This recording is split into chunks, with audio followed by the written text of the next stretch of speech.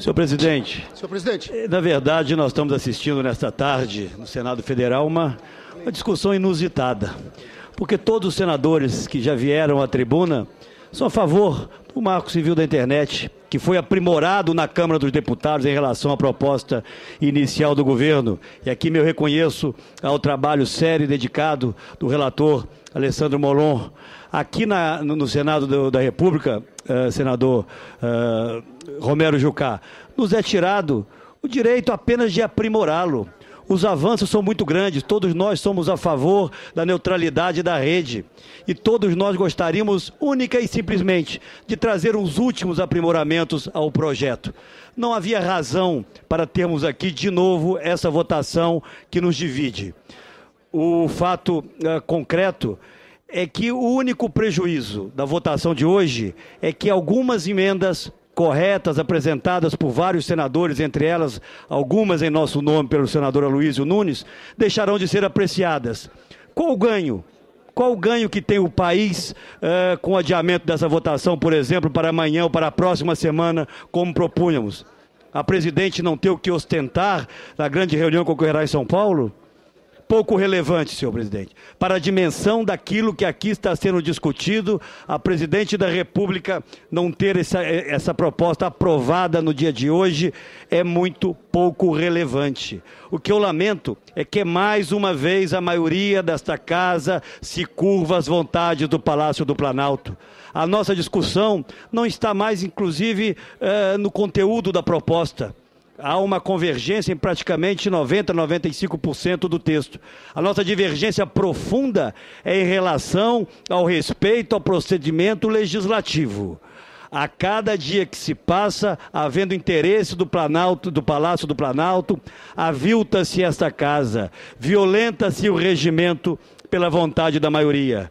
Isso não faz bem ao poder legislativo como um todo e a essa casa em particular. Reafirmo aqui minha concordância, meu apoio com o texto do projeto que poderia ainda ser aprimorado se nós tivéssemos aqui garantida a nossa prerrogativa básica primária, que é de legislar, que é de aprimorar as propostas que vêm da Câmara dos Deputados. Na verdade, isso nos foi tirado hoje. A votação desse texto, após a apreciação dessas emendas, daqui a um, dois dias, uma ou duas semanas, não traria prejuízo nenhum ao país. Ao contrário, traria um enorme ganho àqueles que querem essa nova, como chamou meu companheiro Randolfo, essa nova Constituição da internet uh, aqui discutida e votada. O texto é bom, o texto traz avanços, mas poderia ainda receber alguns aprimoramentos, senhor presidente. Com a palavra o senador Lindenberg. Olha, eu quero começar, senador, quebrando o copo, discordando do senador Aécio Neves. Eu acho que hoje ele e o PSDB aqui deram um tiro no pé. O senador tem dito na televisão que tem quer conversar com os brasileiros. Mas se tivesse escutando, senador Écio Neves, os brasileiros, Vossa Excelência saberia que nenhum outro projeto mobilizou tanto a juventude do nosso Brasil como esse marco civil da internet. Foram anos de discussão. Então, Vossa Excelência vir aqui dizer que quer aprimorar o projeto. Aprimorar o projeto significa voltar para a Câmara dos Deputados. E nós sabemos o que foi para esse projeto sair da Câmara dos Deputados. Está aqui o deputado Molon, que fez um trabalho fantástico naquela relatoria. Nós sabemos os interesses que se moveram contra esse projeto. Então não me venha com essa de dizer que agora todo mundo é a favor do Marco Civil. O PSDB vai entrar para a história votando contra essa urgência no momento fundamental para o país. Não é para a presidenta Dilma, para o país.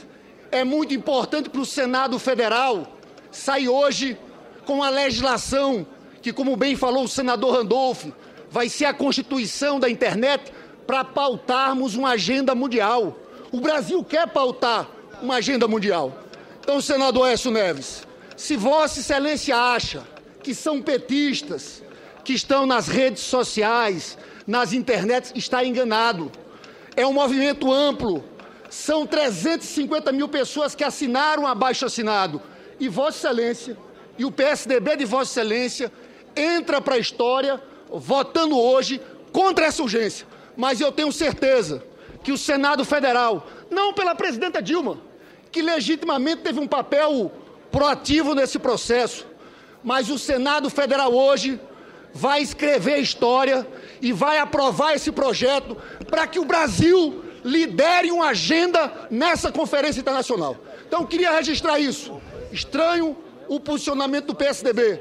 E Vossa Excelência vai ver nos próximos dias que o PSDB cometeu aqui hoje um erro histórico e vai pagar nas redes sociais e na nossa juventude. Artigo 14, senhor presidente.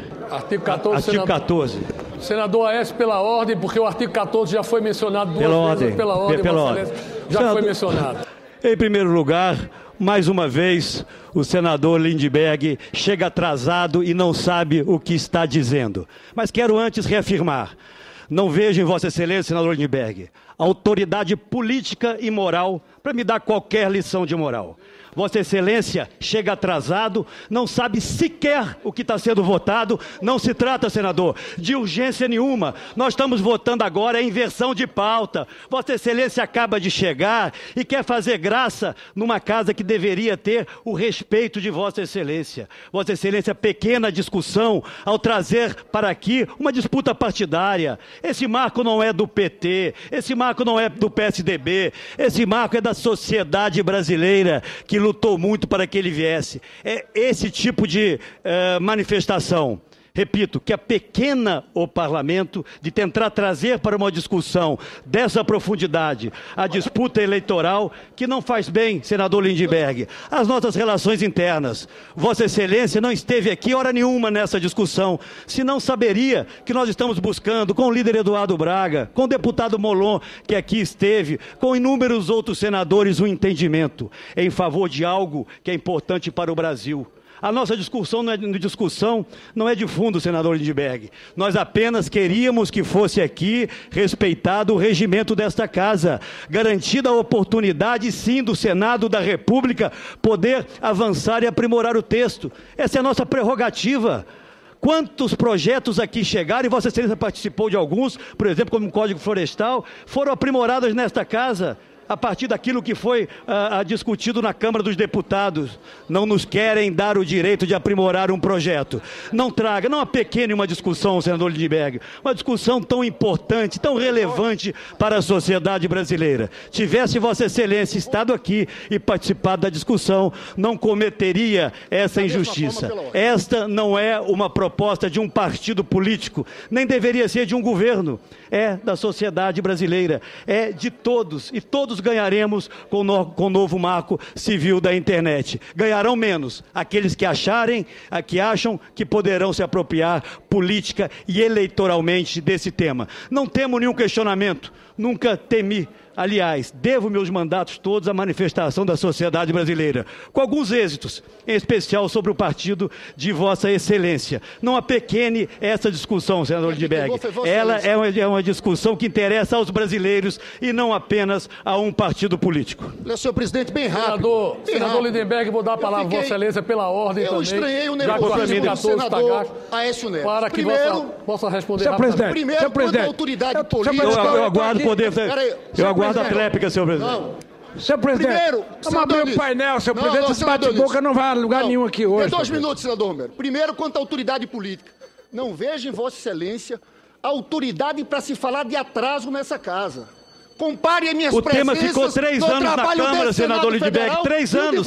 Nós queremos um Não me mês. venha- Nós queremos não um me mês, venha senador passar Lindbergh. pito, porque Vossa Excelência não é dos mais assíduos, não é dos mais pontuais dessa casa. Então não venha, não venha falar de autoridade política, não venha falar de autoridade política. Eu não aceito, Senador, eu não aceito isso. vamos ter calma. Eu não aceito Senhor, isso. senhor presidente. Vamos abrir o painel, Senhor presidente.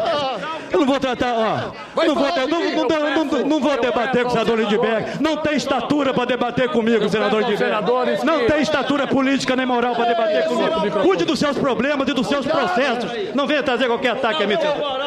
Pra isso, pra desmoralizar Não pode ninguém. dizer na minha cara, não. não Não pode dizer na minha cara, não. Não pode dizer na minha cara. não. Peço aos senadores calma. não. Pode. Volto a dizer, senhor presidente. Senador Aécio Neves não tem autoridade. Eu, eu peço aos senadores calma. eu peço aos senadores calma. Nós encerramos o debate. Nós encerramos o debate e vamos abrir o painel para levantar a apuração dos votos. Onde é que faz sua campanha aqui?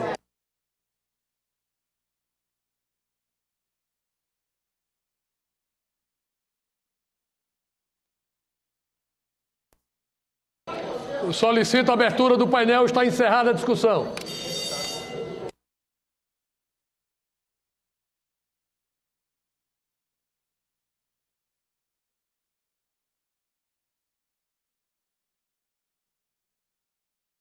A inversão de pauta foi aprovada com 46 votos sim, 15 votos.